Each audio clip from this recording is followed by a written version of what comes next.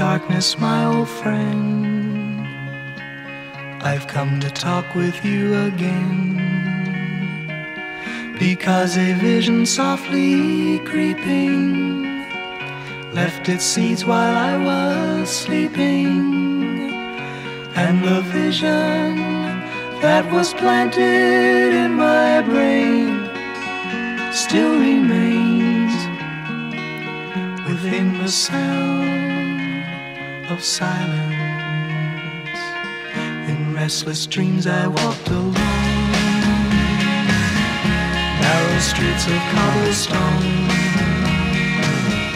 neath the halo of a street lamp. I turned my collar to the cold and damp.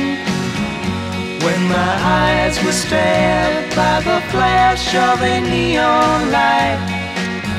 split the night, whispered the sounds of silence.